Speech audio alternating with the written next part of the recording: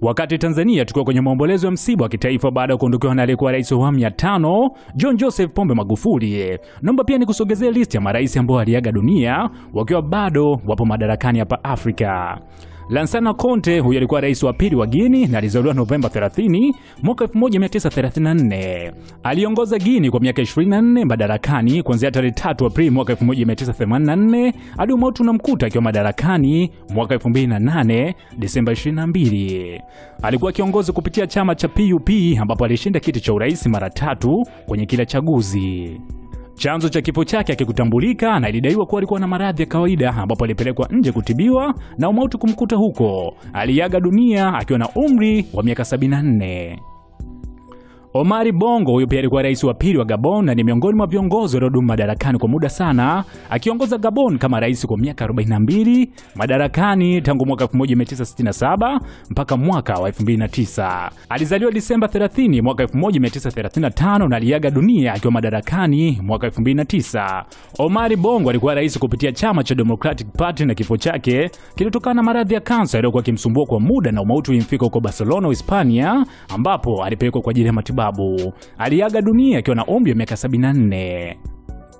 Joao Bernardo Vieira huyu alikuwa rais wa Guinea Bissau, aliliongoza taifa hilo kwa miaka 19. Alizaliwa Aprili 27 mwaka 1937 na aliingia madarakani kama rais mwaka 1980 hadi mwaka 1984, kisha kwa mara ya pili akawa rais kuanzia mwaka 1984 hadi mwaka 1999. Pia akarudi kuwa rais mwaka 2005 hadi mwaka 2009 ambapo aliuawa na wanajeshi wa taifa hilo kwenye harakati za kimapinduzi. Alikuwa kiongozi kupitia chama cha African Party for the Independence of Guinea and Cape Verde. Aliaga dunia akiwa na umri wa miaka 72. Umaru Musa Yaradua alikuwa rais wa Nigeria na aliliongoza taifa hilo kwa miaka mitatu tu kuanzia mwaka 2007 hadi mwaka 2010 umauti wake ulipomkuta. Alizaliwa Agasti 16 mwaka 1953 na aliaga dunia Mei 5 mwaka 2010 akiwa na umri wa miaka 59.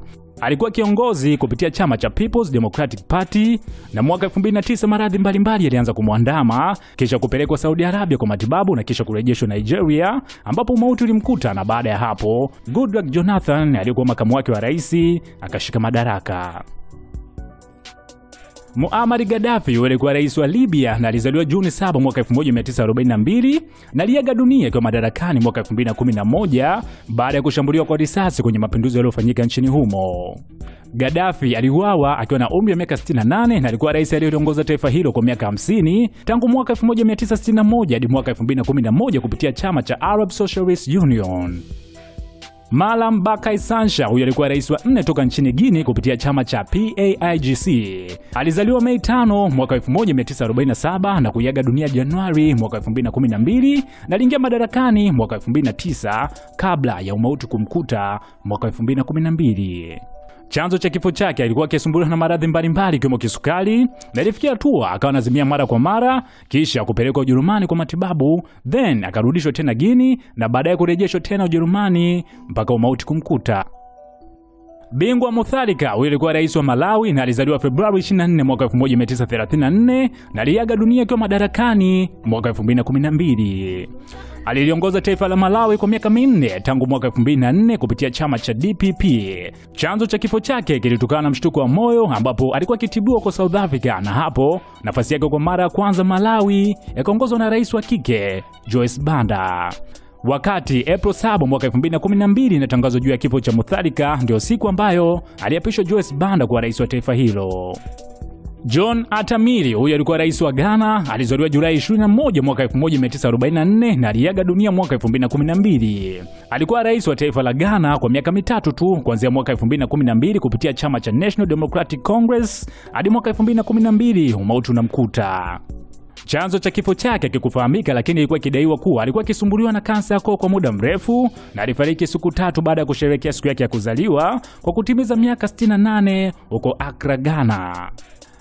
Michael Sata huyu alikuwa rais wa Zambia na alizaliwa Julai 6 mwaka wa 1937 na aliaga dunia akiwa madarakani Oktoba 28 mwaka wa 2014.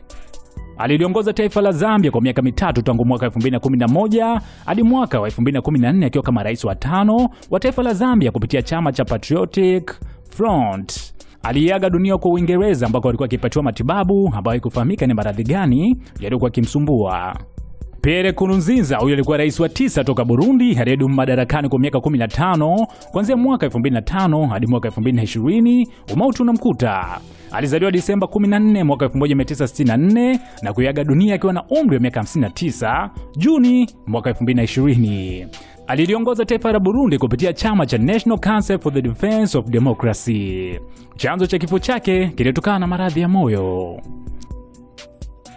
Na sisi wa Tanzania kwa mara ya kwanza tumepata pigo la kuondokewa na rais aliyekuwa bado akihudumu la wapili wa uongozi John Joseph Pombe Magufuli ambaye aliaga dunia mwezi huu March tarehe 17 kwa maradhi ya moyo. Hii hapa ni SNS. Mimi Jan Man, Jacob Medexedek.